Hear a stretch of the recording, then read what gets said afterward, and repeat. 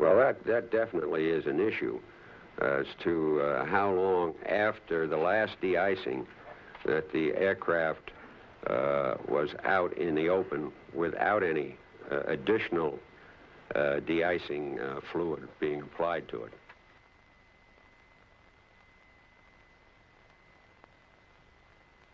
They de-iced the airplane several times before we took off. They had closed down the airport just before we departed to plow it. They came out and they de-iced that airplane at least two or three times.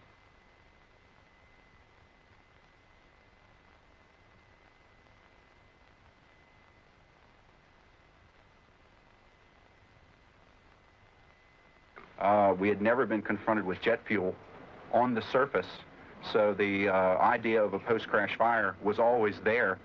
And- Paramedic Gene Windsor spoke of a middle-aged man, a crash victim still missing, who gave his life for five others. Yes, there was a, a sixth man clinging to the wreckage.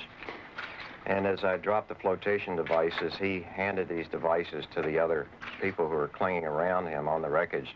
When the helicopter returned for that sixth man, he'd gone under. Lenny Skutnik arrived at the crash scene on his way home from work at the Congressional Budget Office.